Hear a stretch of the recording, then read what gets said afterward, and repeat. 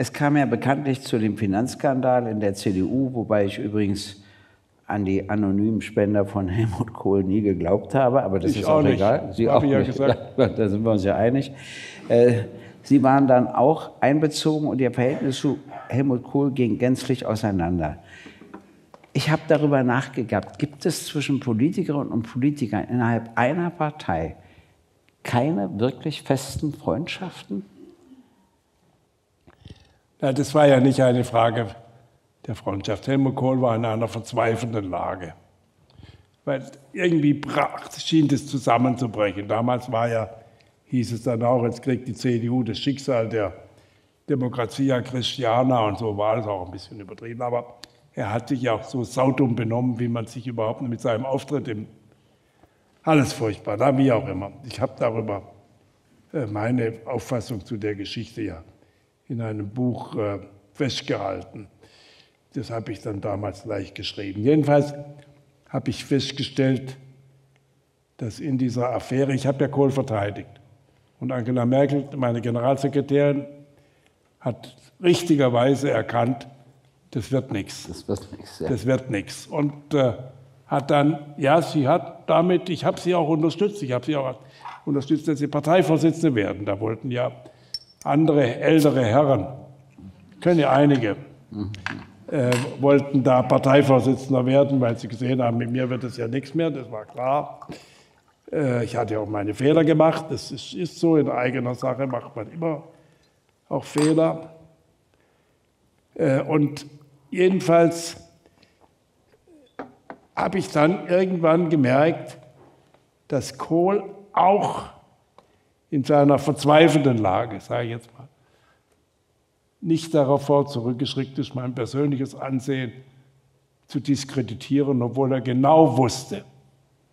Damals hat er es noch gewusst, inzwischen hat er es längst verdrängt. Der hatte eine große Fähigkeit, die Dinge sich so lange, das können andere auch, zu verdrängen, dass sie es dann selber glauben. Nicht? Man, die Erinnerung kann man ja leicht manipulieren, die eigene. Äh, aber damals hat er es noch gewusst, dass es verlogen war. Und dass ich mit diesen 100.000 äh, D-Mark, die ich von dem Schreiber bekommen habe, woraus ich nie ein Geheimnis gemacht habe, was mich mehr gestört hat, war, ich hatte am Tag, nachdem der Haftbefehl gegen Leisner Kiep war, im CDU-Präsidium gesagt, ich habe von dem auch die 100.000 100 Euro bekommen, wir müssen das gleich melden. Dann hieß es, nee, war mein erster großer Fehler. Wir machen das alles erst an die Wirtschaftsprüfer, wir haben gesagt, alle Informationen und die sammeln und dann wird Rechenschaft gelegt. Das war unsere Linie, die war so falsch wie nur was. Ich hätte müssen sofort sagen, ja, so war das.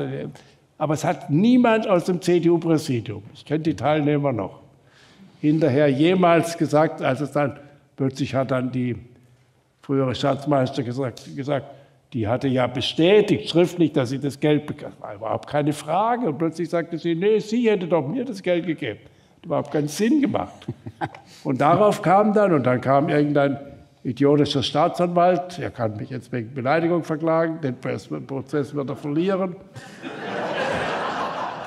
Der hat ein Ermittlungsverfahren wegen uneidlicher oder wegen Falschaussage vor einem Untersuchungsausschuss gemacht. Ich habe gesagt, das können Sie doch nicht. Gucken Sie doch die Anzeige.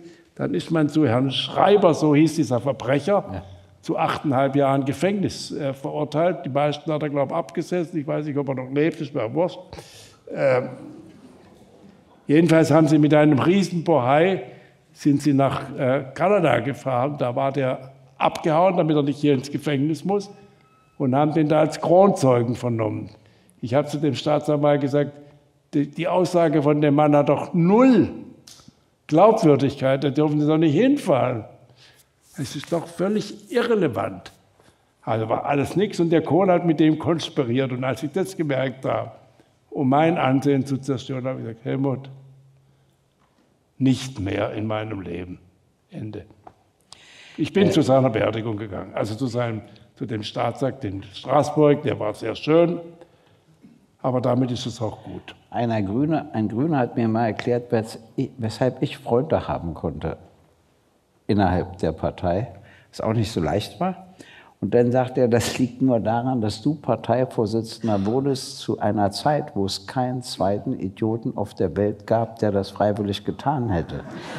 Und deshalb warst du immer unumstritten. Umstritten war immer, wer Stellvertreter wird, an die Seite darf, das alles. Und deshalb konntest du dir Freundschaften leisten, ich mir nicht. Darüber habe ich lange nachgedacht.